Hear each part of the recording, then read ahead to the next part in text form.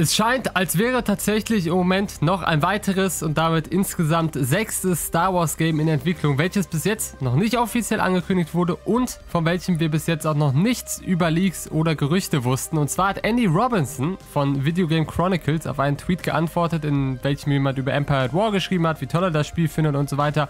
Und Andy hat darauf geantwortet, dass wir alle nicht mehr lange auf ein neues Star Wars Echtzeitstrategiespiel von einem großen Entwickler warten müssen und hat auf Nachfrage dann nochmal klargestellt, dass er damit nicht das Strategiespiel von Respawn meint, was natürlich definitiv Sinn macht. Zum einen, dass natürlich äh, sich Star Wars Spiele in Entwicklung befinden, von denen wir bis jetzt noch nichts wissen, vor allem wenn Disney bzw. Lucasfilm Games ja wirklich in Zukunft die zwei Games pro Jahr einhalten wollen und zum anderen aber auch, dass das sich derzeit einzige in der Entwicklung befindende Strategiespiel von Respawn bzw. Bitreactor eher so in Richtung XCOM, also rundenbasiert gehen wird und viele sich wahrscheinlich eher ein Echtzeitstrategiespiel la Empire at War wünschen und wir demnach sowas jetzt auch erwarten können und es ist echt super in wie viele verschiedene Richtungen jetzt die Star Wars Games alle gehen werden. Aber irgendeiner muss doch jetzt so langsam mal an einem Multiplayer-Shooter-Game arbeiten.